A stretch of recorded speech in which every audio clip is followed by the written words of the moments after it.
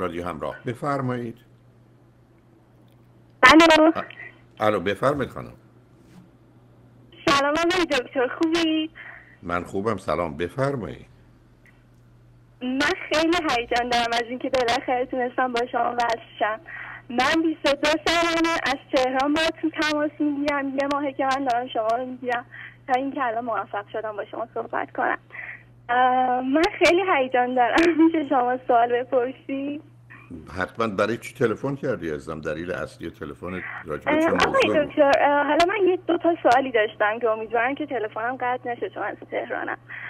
اولی سوال این بود که آیا اصلا درسته آدم با یک کسی یه رابطه رو شروع کنه که طرف مقابل وضع مالیش خب خیلی بهتر از شماست و اینکه آیا این خلالی رو ایجاد می‌کنه توی یک شروع رابطه درست یا نه؟ اگه مثلا اخلاق و اینا مچ باشه اونقدی مسئله مهمی نیست.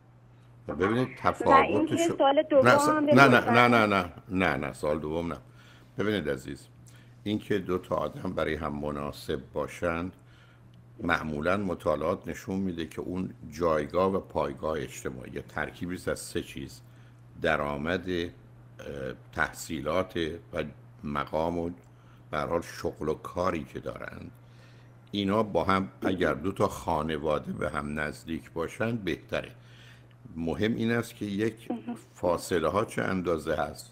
برخی از اوقات نوع خانواده ها متفاوتن فرض کنید یک کسی است که در یه جامعه کشاورزی است یکی در یه جامعه بسیار پیشرفته صنعتی. یکی اصولا در کار تجارت بوده یکی توی کار فرض کنید دانشگاه بوده. خیلی از اوقات این تفاوت ها بعدا تو خانواده می‌تونه موضوع و مسئله باشه. اما من دو تا اشکال دارم.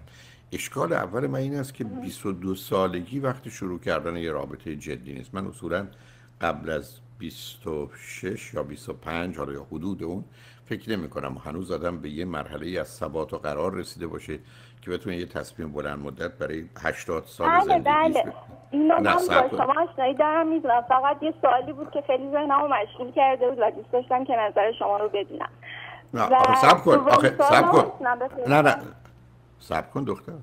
آخه دومین اشکال وجود داره. تو در 22 سالگی که قرار نیست خودت درآمدی داشته باشی که باید خودتو با کسی مقایسه کنی. به همین که اتفاقا 25 و 6 که حداقلش آدم می‌دونه کجا خودش ایستاده. حالا خانواده ها معلومه فاصله و شکاف بسیار باشه. برخی از اوقات خانواده ای که جایگاه برتری داره با این رابطه و ازدواج مخالفن.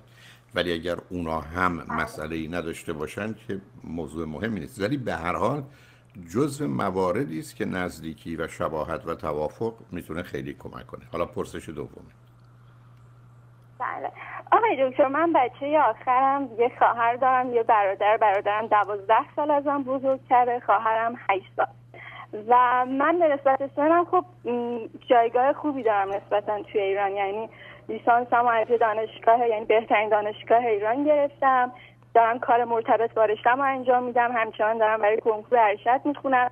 ولی همچنان همیشه این حس ناکافی بودن در من هست که من اونقدر که باید خوب نیستم و من خواستنی نیستم و نمی‌دونم همش این می‌دونم ولی بازم انگار اونجوری که باید نیستم. می‌دونم که به خاطر بچه آخر بودنم اختلاف خیلی زیادی که من در واقع چهار تا پدر دو تا پدر مادر داشتم. یعنی برادرم هم حکم برادر داشت هم پدر و خواهرم هم همینجوری. می‌دونم همه اینا ممکنه که جزو دلایلش باشه ولی چجوری می‌تونم این حس بد رو از خودم دور کنم؟ یعنی خب. کی قراره بتونم به ثباتی برسم که احساس کنم اوکی من الان به اون آرامشه رسیدم. خب حالا اگر فرض کن که تو تصور این باشه که در مقام مقایسه که البته معنایی نداره و خیلی از اوقات اشتباهه اه، تو امتحان قبول نخواهی شد و نمره کمتر از مثلا ده می‌گیری. بعد بری امتحان بدی متوجه بشی که تو 19 و 20 گرفتی. اصلا هیچ کس دیگه هم 19 و 20 نگرفته. تو مجبوری یه تج نظری بکنی درباره نظرت راجع به خودت یا راجع به واقعیت. بنابراین موضوع اول و اساسی در این است که ما نمی‌تونیم با احساسی که اصلا معلوم نیست مثلا در این سن و سال درباره این موضوع از کجا میاد. یعنی فرض کن همینقدر که تو خواستی یه چیزی رو از اون تاخچه برداری نتونستی برادر یا خواهر اومدن برداشتن به تو دادن تو می‌تونی احساس بکنی که از اونها کمتر و یا پایینتر. و این حادثه و اتفاق مثلا با توجه به فاصله ده هزار بار در کودکی تو اتفاق افتاده یعنی از یک سالگی که متوجه دوربرت بودی مثلا تا دوازده سالگی نه یه دفعه دو دفعه پنجاه دفعه ده هزار دفعه. خب معلومه تو دائما یه پیامی گرفتی در این زمینه مثل که یه کسی رو هر روز صبح ما بیاریم روزی مثلا صبح تا شب روزی دیویست دفعه بهش بگیم تو مثلا نفهمی یا تو بیشعوری یا تو زشتی یا تو بدی. تو فکر می‌کنی بعد از 21 سال چه حالی خواهد داشت؟ خب این طبیعی. پس تو باید حالا که مثلا علت چه میدی بری سراغش. ببینی آیا یک این واقعیت داره که من از نظر علمی و اخلاقی و انسانی خودم با دیگران مقایسه کنم؟ بنابراین من قرار این هست که خودم باشم. من قرار خوب خودم باشم.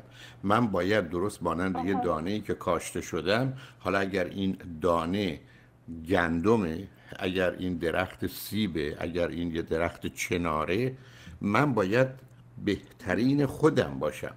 ولی من نمی‌تونم به خاطر اینکه دانه گندمم یا سیبم یا دانه یه درخت چنارم فرض رو بر این بگیرم باید من همون اندازه باشم که بقیه هستن. حالا اگر گندمم جان چجوری به اندازه یه چنار رشد بکنم؟ بنابراین وقتی که بحث حرمت نفس یا در ایران حالا بیشتر عزت نفس میگن که من باش راحت نیستم تو این زمینه مطالعه کنی خواهید دید همون دو تا حرفی که خودت زدی. یک خوبی مثل بقیه که خوبن و دو خواستنی و دوست داشتنی هستی. جایی برای همچین احساس بد و غلطی نیست. بخوام یه دوره تراپی رو شروع کنم. به نظرتون بهتره یا اینکه خودم بخوام برم بخونم و ببینم بیشتر؟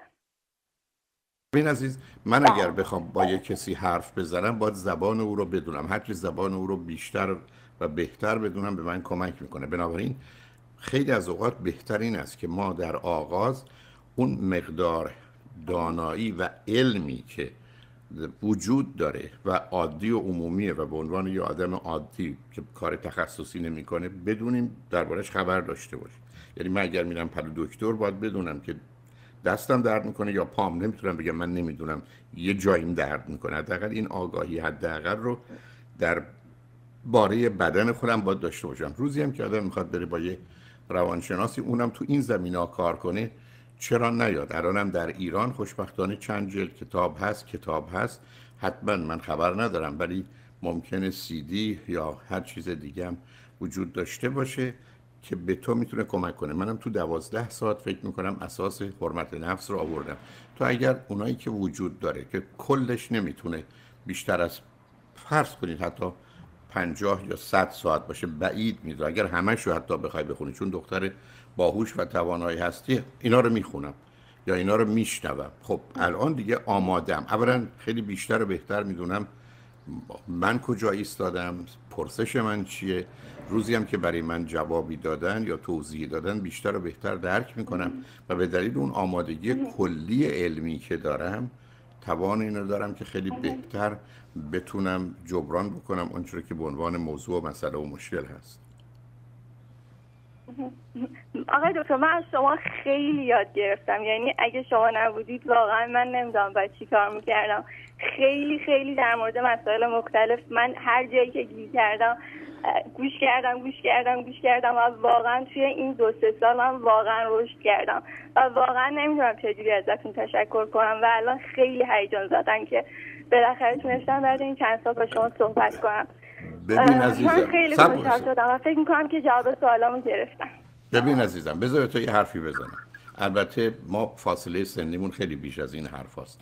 ولی یه جمله بسیار. بسیار قشنگ و عمیقی نیچه داره و میگه بهترین بهترین پاداش یک استاد این است که شاگردانش در شاگردی او باقی نمانند یعنی حتی از او بهتر باشن بیشتر بدونن. یعنی روزی که تو می‌خوای از یه معلمی از یه استادی تشکر کنی بهترین کار اینه که از او بهتر باشه این بیشترین پاداشی است که به او دادی. اگه قرار باشه از او کمتر بدونی در حقیقت راه رو نرفتی کار رو انجام ندادی.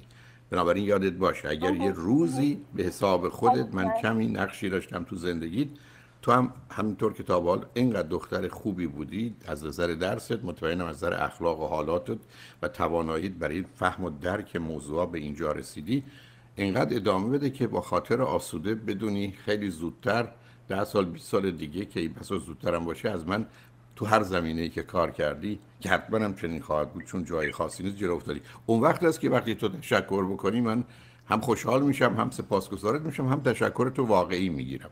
بنابراین باز جمله رو تکرار می‌کنم. بهترین پاداش یک استاد این است که شاگردانش در شاگردی او باقی نمانند و از استادشون بهتر و برتر و بالاتر باشن مواظب خودت باش. خوشحال شدم با صحبت کردم عزیز دل.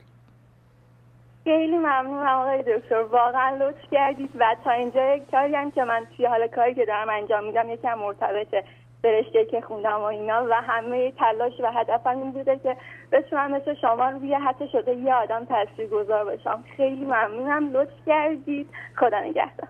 خدا نگهدار. حتما هم چنین خواهی شد عزیزم. مواظب خودت باش.